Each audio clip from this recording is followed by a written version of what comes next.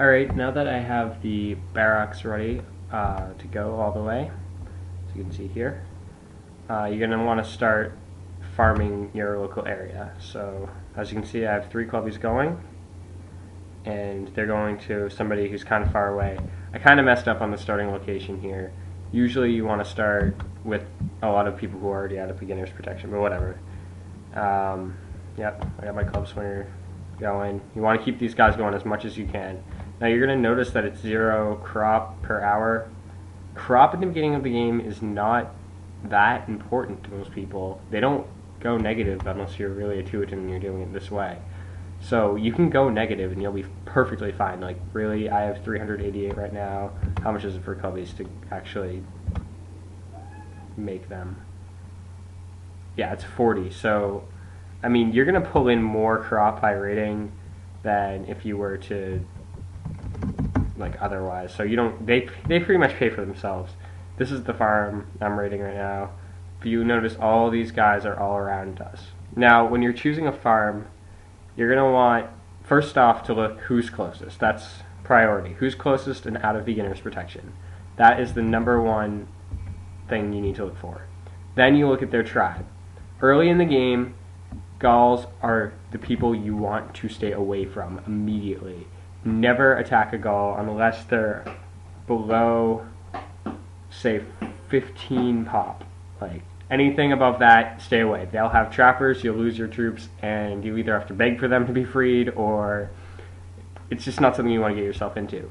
Romans are always good to hit. Their troops take a lot of resources to get to, and most people who play Romans haven't really played the game much or understand the basics of the game because they're kind of they're semi easy to go, but they're really good for farming.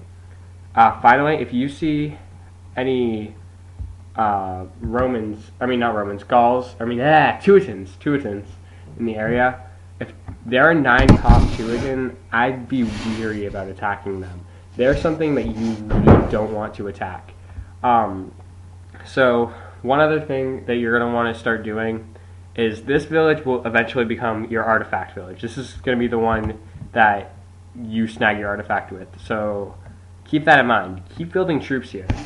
Um, just keep going over and over. This is going to become a support village. You're obviously going to want to go for a high percent cropper, 15C, whatever, for your own. Now, these are the buildings that you can make right off the bat. Do not make a hero's mansion anywhere in the near future. You will not need it. That's, that's a guarantee. If you make it, you're just wasting your resources. They're really expensive early on in the game.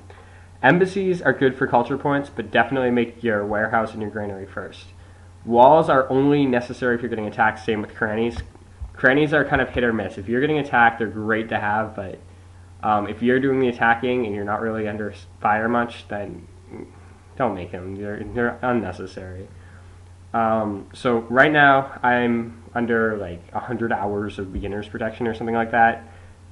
So I'm kind of exploiting the fact that I can hit them, they can't hit me. So let's look at the map again. So like I said before, you want to look, and luckily Travian's added a little thing over here that tells you like what tribe people are before, so you don't need to click on them and go, oh crap, I can do this person over and over. They haven't added anything for beginner's protection, so you have to click on a point, and it's going to say beginner's protection at the bottom, and you're not going to be able to attack them. So you're going to want to continue farming, continue building your troops. Build troops only until you reach around. I think, I think 10 is probably a good start. 10 to 20 is a really good start. I've read guides that say 50. That's a lot of troops before you're making any crop, and if you don't have a lot of good farms, then you're going to screw yourself over. So, if this is your first time trying this strategy, 10 to 20, then start working on crop fields, then get your granary up, get your warehouse up, and then you'll be fine. Um, now, there's another thing that has happened in my area that I want to acknowledge as well. This guy is called By Tange of DA Alliance 69 Pop. This is a 15C of somebody else. You look at their profile. They they can want me pretty easily if they want. They're a Gaul, and they're in the third best alliance. So I mean, early in the server, rankings don't mean much but you can tell who's going to be good. And if a Gaul already has a second village at this point in the game with that little of a pop, they know what they're doing. So there are two ways that people get out of this. One, they suck up to the person, or two, they destroy them. I usually lean to go for the destruction path. They are Gauls, and I want to avoid hitting them much. So there are secret ways, or not secret, but more subtle ways of destroying them. One, raid everything around them so they cannot get any resources at all. It helps, trust me. It's it's a good idea to do that. Uh, if you get their you get resources and they don't get resources, so it's a win-win.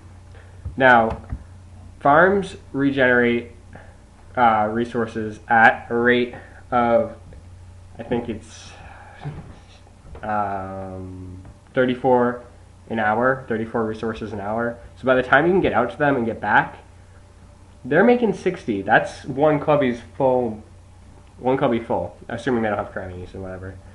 So keep that in mind. You can always keep going back to them over and over. Hit them over and over again until they're like done bleeding resources. So I'm going to show you a couple of the reports of my farm from earlier today.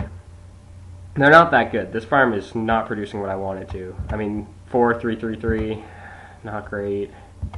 Uh, 49 out of 120 with 16, 11, 11, 11. That's okay, but I really want to max it out. If you're not getting much resources, keep hitting. You will start getting resources over time. Um, raiding parties should be between early in the game, two to five. Later on in the game, it increases. Um, some are like 90. Some it depends on the farm really, but it can range anywhere between like five to a thousand clubbies. I mean, I've seen farms that are able to produce a full load of a thousand clubbies to get uh, get you all the resources that you need, and they're not even that far away. So I got my other club swinger out, and I'm all happy. And uh, so thanks, guys. Um, there might be a part three about how to build your village if you're a Teuton, or maybe it'll just be how to build your village in general. I don't know. But uh, thank you.